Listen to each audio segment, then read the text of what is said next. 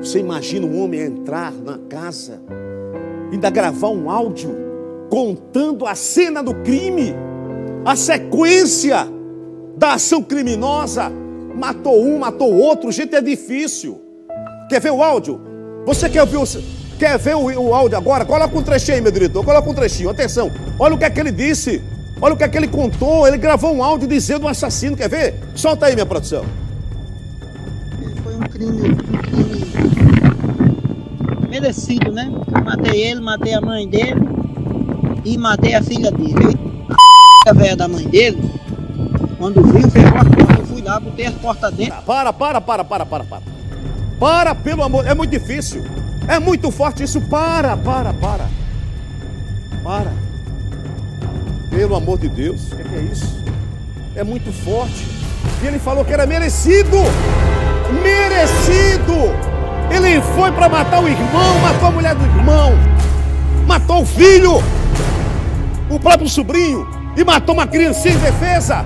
Ainda disse que foi merecido Natal, Rio Grande do Norte. Esse áudio ele encaminhou para uma pessoa, dizendo que ia se matar, onde ia se matar, e que ele repassasse para a polícia a todo momento, meu amigo telespectador, minha querida amiga telespectadora. Então, foi um crime premeditado. Ele plantou a maldade no coração e praticou essa tragédia. Preste atenção, a frieza. E tudo ele premeditou, dá para perceber nesse áudio. Quer ver? Eu vou aqui pro telão, tá? Eu vou pro telão porque a coisa é muito séria. Olha aqui, esse aqui é o assassino que foi encontrado morto. Ele conta com detalhes através de áudio como ele matou cada vítima. Solta aí, produção, vamos ver. Foi um crime, um crime merecido, né? Matei ele, matei a mãe dele e matei a filha dele. A velha da mãe dele, quando viu, fechou a porta. Eu fui lá, botei as portas dentro e matei ela. Correu. Então, não tenho o que fazer não, cara. A única coisa que eu lhe peço é me perdoe, meu Atenção, nesse outro áudio, que a gente vai mostrar agora, tem outro áudio agora. Ele fala para as pessoas não irem atrás dele. Que a polícia sossegue, não precisa persegui-lo, não faça operação porque ele vai tirar a própria vida. Ele conta no áudio isso, quer ver? E ainda acusa o sobrinho, hein? Que ele matou. De ter planejado a morte dele. Olha isso que ele gravou. Por isso que ele foi lá e se vingou. Ele conta por que, que matou a família. Ele disse que o sobrinho tinha um ameaçado de morte. Olha isso aqui, quer ver? Atenção, Natal. Presta atenção. Ei, ei, silêncio. Presta atenção. Pode soltar produção. Não. Você pode, pode dizer a Luma aí, a polícia. E não precisa me procurar não. Eu vou, eu vou me suicidar mesmo. Eu tô só falando aqui com vocês. Mas eu vou me suicidar e vou dizer onde tô pra se vocês quiserem e me pegar. Mas é que eu decidi. Eu sei que se eu for preso, no tamanho do crime, nunca mais eu saio de lá. Prisão por prisão, tô decidido. Quem quiser, quem quiser, tem problema, mas eu tomei minha decisão. Forçada, mas tomei. Fui obrigado. Eu fui obrigado. Eu falei com todos os irmãos sobre esse caso. Todos, todos, todos eles. Mas não foi possível. Falei com o papai, mas não foi possível. Fui na delegacia em João Câmara, dentro do parquinho, fui lá pedir para que isso acabasse. Não foi possível. Então, eu escutei. Eu tenho uma câmera dentro do armazém. Ah, para pegar justamente isso. Foi só pro celular, cara. E peguei, escutei, vi ele mandando uma mensagem hoje, na hora do acontecido, mandando os caras vir me matar. Entendeu? Então, é assim, eu não mato mais ninguém nem ele, né? Pelo amor de Deus, é de arrepiar. É um depoimento, um áudio muito forte, uma palavra muito forte, que ele premeditou. Ele colocou no, no coração que ia acabar com essa família aí, do próprio irmão. E ele faz acusações ao sobrinho dele que ele matou.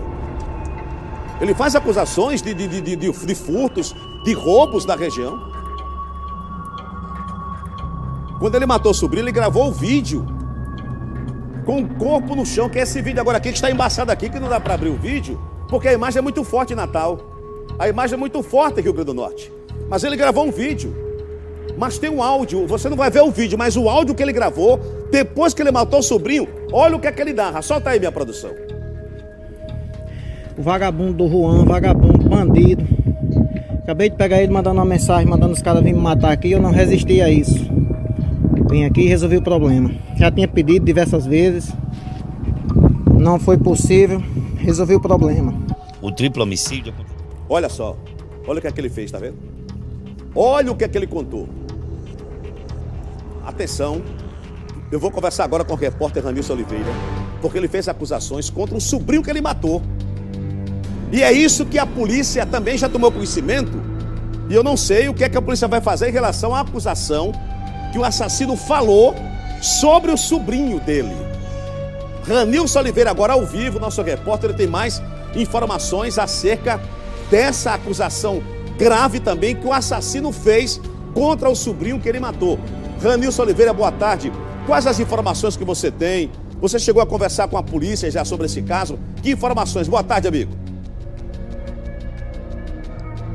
Olá, Mário. Boa tarde para você, boa tarde para todos. É, de acordo com informações repassadas da Polícia Civil para a nossa produção, não havia nenhuma queixa criminal, tanto por parte das vítimas quanto por parte do suspeito. Ou melhor, não havia nenhuma passagem no sistema penitenciário de nenhuma das vítimas, tanto da dona Maria Betânia, quanto do Juan Christian, quanto do Flávio Ananias Lopes, o vigilante de 38 anos que matou a tiros a, a tia, o primo e a filha do primo.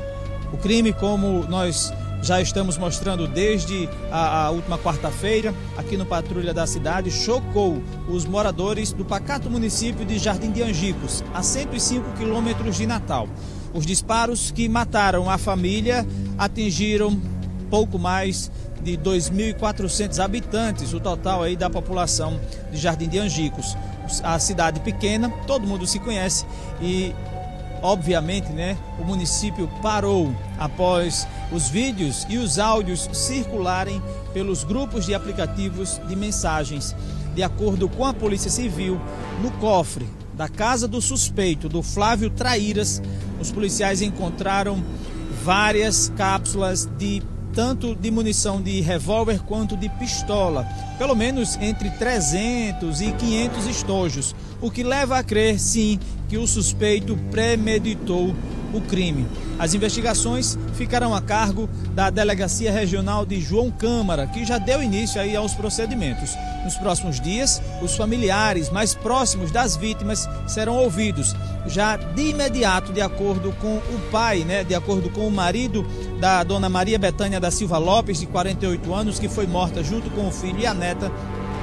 Não havia nenhuma disputa por herança. O que pode ter motivado esse triplo assassinato foi aí uma rixa entre o Flávio, Trair, Flávio Traíras, né, o Flávio Ananias Lopes, de 38 anos, e o Juan Christian da Silva Lopes. Uma rixa antiga, mas que ele não soube, é, nesse primeiro momento, informar o porquê dessas desavenças. Já outras pessoas, né, de acordo com informações extraoficiais, o Flávio Ananias se sentia excluído da família e isso teria gerado aí uma revolta. Mas somente após a conclusão do inquérito instaurado pela Delegacia Regional de João Câmara, que tem à frente a doutora Adriana Shirley, é que será possível afirmar o que de fato provocou esse triplo assassinato seguido aí de suicídio é, praticado aí pelo Flávio Ananias Lopes.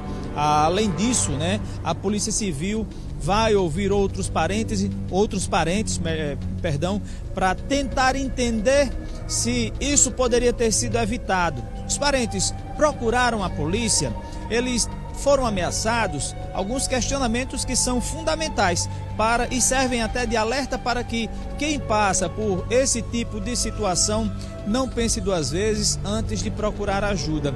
O Flávio trabalhava como vigilante e ele teria dado sinais de que iria matar o primo, a tia e a filha do primo. Então, são esses questionamentos que devem entrar em discussão a partir de agora.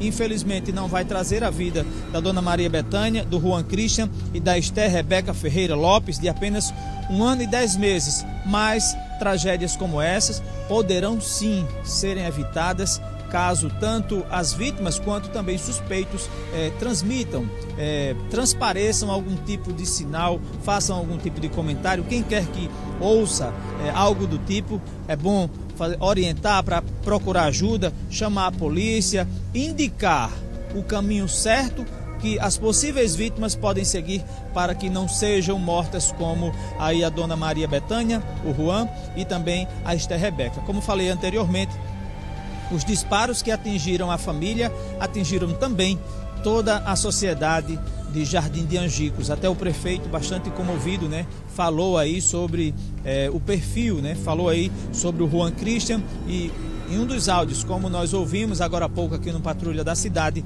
o suspeito Flávio Ananias acusa né, o primo de roubo, de envolvimento em crimes na cidade, mas o prefeito rebateu essas acusações e agora vamos esperar aí pelo desenrolar dessa história, pela conclusão do inquérito que transcorrerá pela Delegacia Regional de João Câmara. Mário César, por enquanto, são essas as informações. E qualquer outro novo fato relacionado a esse triplo homicídio, nós traremos com certeza aqui no Patrulha da Cidade. Eu volto com você.